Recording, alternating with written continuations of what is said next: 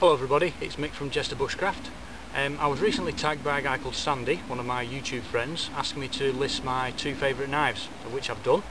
Uh, what I forgot to do is I forgot to tag some other people with the same idea. So I've chosen Colin, Colin Outdoors. Uh, the reason I've chosen Colin is that when I first started looking for bushcraft videos, Colin's channel was the first uh, I came to. I've watched all these videos, they're absolutely brilliant.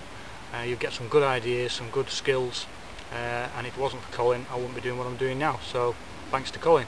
So if you can give us your, do uh, post a video of your two favourite knives and the reasons behind that. I'm sure one of them will be a Leatherman. Um, my second tag is for a couple of young lads called Stu and Luke uh, who go by the name of Quicksilver. That's Quicksilver with a 5 as the S. Uh, now the reason I've chosen these two lads is I think it's really refreshing to see two young lads um, getting outdoors, learning survival skills, bushcraft skills instead of being sat at home, playing on the PlayStation, um, just vegging out basically.